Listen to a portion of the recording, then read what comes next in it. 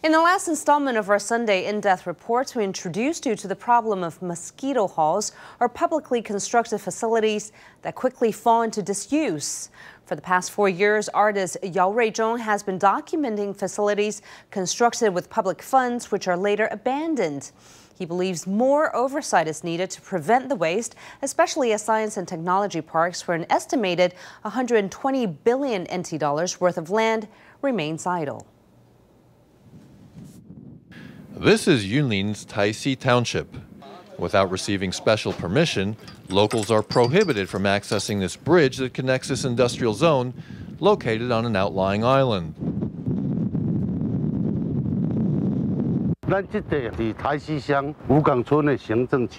This piece of land is a special administrative area near Taisi's Fifth Alley Village. It covers a total area of 283 hectares and was completed around 2002 or 2003. The government spent some 20 billion NT of taxpayer money to pump sand and complete this marine reclamation project. The money may as well have been tossed into the sea as the land has not been used in 20 years. At first, it was for Formosa Plastics, which wanted to build a steel mill. Later, Kuokuang Petrochemical was going to build a factory, but later neither did.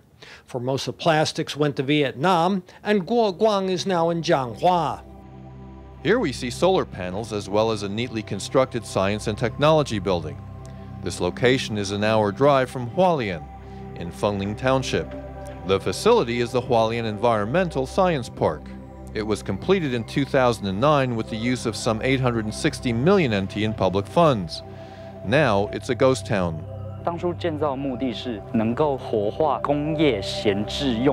The original purpose of this public construction was to activate idle industrial land and promote local prosperity.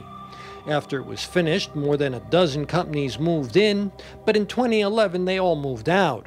In rural Hualien County, the government seems to be more than willing to spend money to build public projects that soon fall into disuse.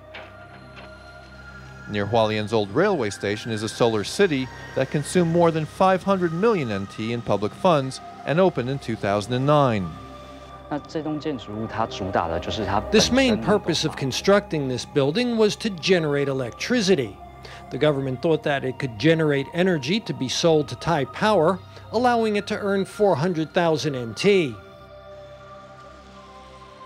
The solar city has solar panels throughout, but while it doesn't sell electricity anymore, after only six years, these stairs show the effect of corrosion, and planters are left dry and the elevator is forever stuck on the first floor.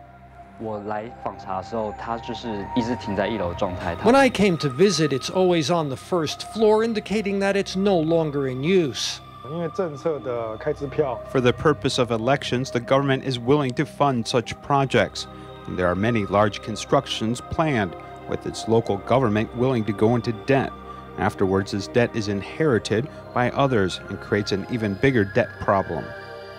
While technology parks and industrial areas may account for many of these disused publicly constructed facilities, the vast majority of these abandoned spaces are actually markets. Due to changing environments, some of these buildings have lost their functions. For example, this market may have had many people 30 years ago, but now it has been made redundant by convenience stores, supermarkets, and department stores. Here we see crowds in front of Beigang's Chaotian Temple, with two rows of shops doing a brisk business. Opposite is a large building that was designed to be a retail space, with the Beigang Township office spending 700 million NT to construct a special BOT project. This is a very lively street, which surprises us that it has a giant hidden ruin. The building sits in stark contrast to conditions on the street which is bright and bustling with large crowds. Inside, it is dark, with wires strewn on the ground and caved in ceiling tiles. The contrast between inside and outside is startling. Upgrading this area was a mistake, as many people were forced out and they established stalls outside. Another problem was that they built a multi story market. Many people feel that it's inconvenient to climb to the second floor, as one loses an emotional connection to the traditional atmosphere of the market. Taiwan's publicly constructed buildings that have fallen into disuse continue to grow and multiply, causing a financial burden on the government. Unfortunately, government authorities have not been able to find a new use for these facilities. I have been calling on the government to use a percentage of this idle space to be used as a creative space for young people. It wouldn't cost anything to implement such a change. Rising housing prices mean that Taiwan's young people can't afford to buy a house. However, with billions of dollars wasted on these public facilities, it's clear that the government's land planning policies have spiraled out of control.